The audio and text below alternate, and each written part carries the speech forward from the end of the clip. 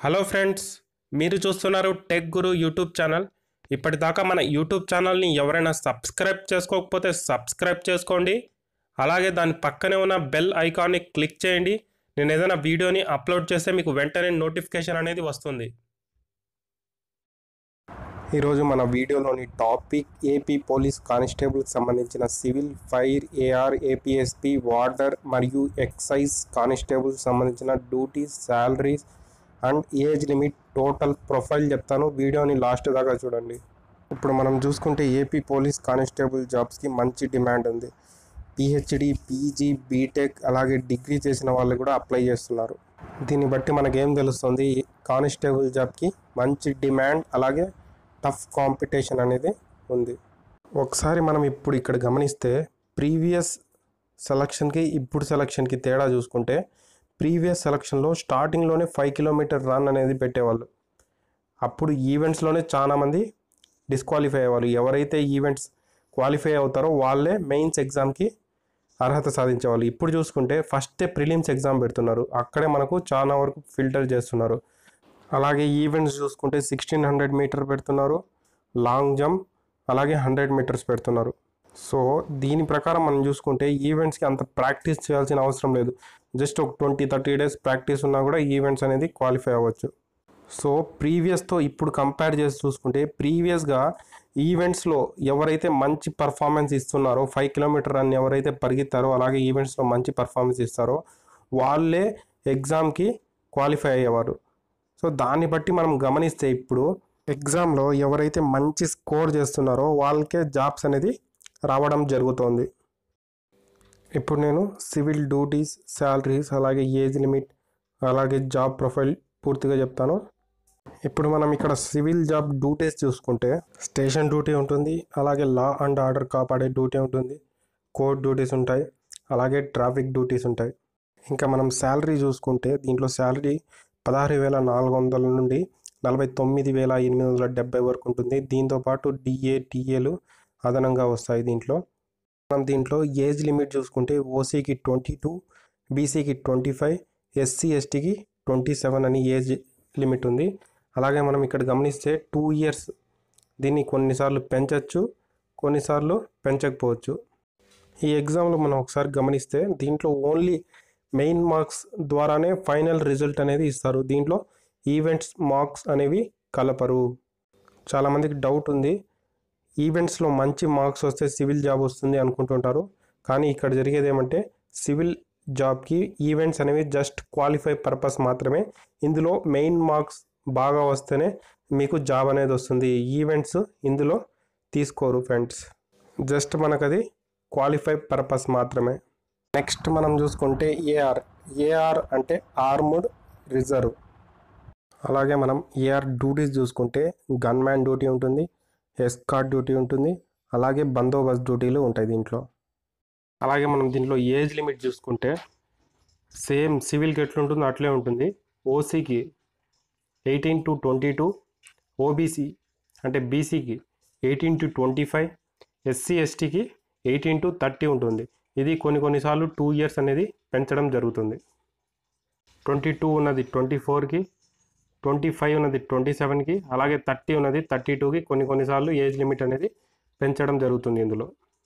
అలాగే మనం దీంట్లో శాలరీ చూసుకుంటే సేమ్ శాలరీ ఉంటుంది. సివిల్కి ఏం చెప్పాను శాలరీ అదే శాలరీ ఉంటుంది. టీఏలు డిఎల్ ఏదైనా మారచ్చు. అలాగే మనం ఇందులో సెలక్షన్ ప్రాసెస్ చూస్తే ఇందులో main marks plus events mark రెండు కలుపుతారు.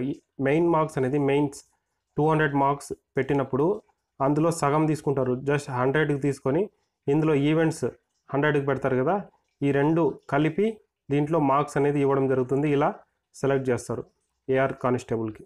ఇక మనం నెక్స్ట్ చూసుకుంటే ఫైర్ డిపార్ట్మెంట్. దీన్నే మనం అగ్నిమాపక సిబ్బంది అంటాం.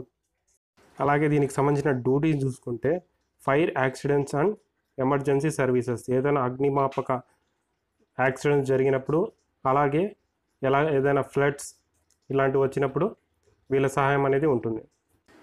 అలాగే మనం ఇందులో శాలరీ చూసుకుంటే సిక్స్టీన్ థౌజండ్ ఫోర్ హండ్రెడ్ నుండి forty nine thousand seven hundred వరకు ఉంటుంది. మనం ఒకసారి ఏజ్ లిమిట్ గమనిస్తే ఓసీకి ఇందులో ఎయిటీన్ టు థర్టీ ఉంటుంది.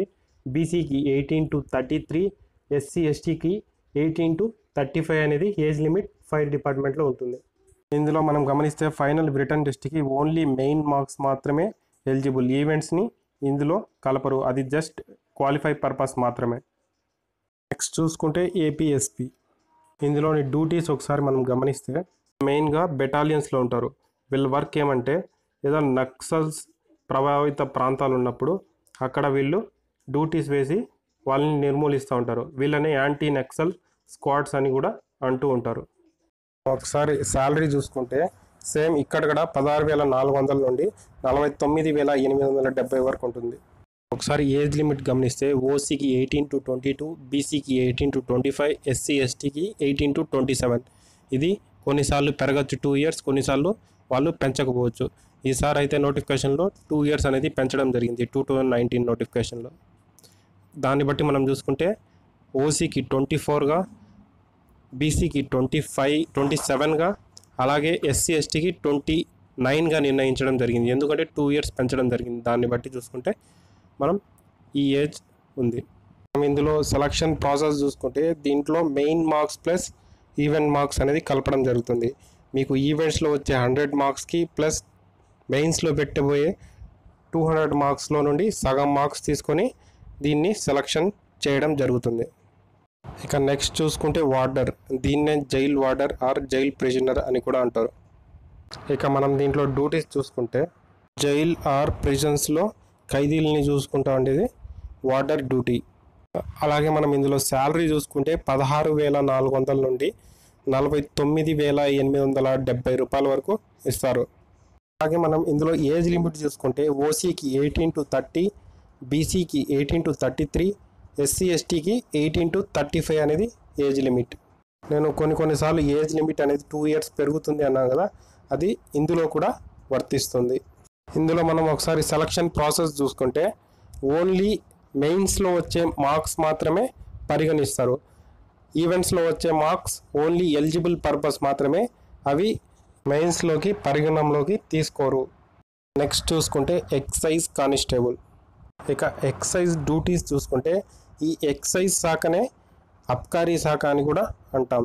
డ్యూటీస్ మెయిన్గా చూసుకుంటే ఇన్స్పెక్ట్ ఎక్సైజ్ షాప్స్ అంటే ఎక్సైజ్ అంటే మందుల షాప్ ఉంటాయి కదా వాటిని గమనిస్తూ ఉండాలి. ఇక్కడ కూడా మనం ఒకసారి శాలరీ గమనిస్తే పదహారు వేల నాలుగు వందల నుండి నలభై తొమ్మిది వేల ఎనిమిది వందల డెబ్బై వరకు ఇస్తారు. మనం ఇందులో ఏజ్ లిమిట్ గమనిస్తే ఓసీకి పద్దెనిమిది నుండి ముప్పై బీసీకి పద్దెనిమిది నుండి ముప్పై మూడు ఎస్సీ ఎస్టీకి పద్దెనిమిది నుండి ముప్పై ఐదు వరకు ఉంది.